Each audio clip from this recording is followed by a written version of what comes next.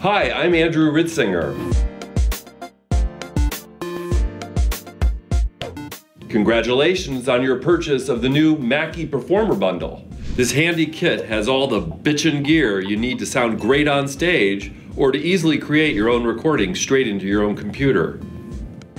In this video, I'm going to show you how to get everything hooked up.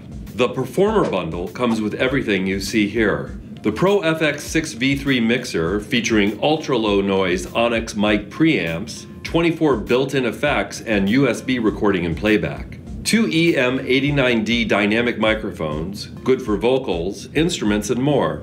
A pair of MC100 professional headphones to dial in your sound just right. Plus two zippered pouches, two mic clips, and all the cables you'll need. Let's get started. First, connect the two EM89Ds to channels 1 and 2 on the Pro FX6 V3 mixer.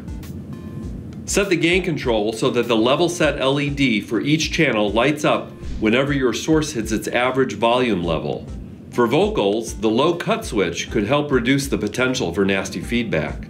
To hear yourself or anything else connected to the mixer, connect your snazzy new MC100 headphones to the phone's jack. The level for this is controlled via the phone's knob.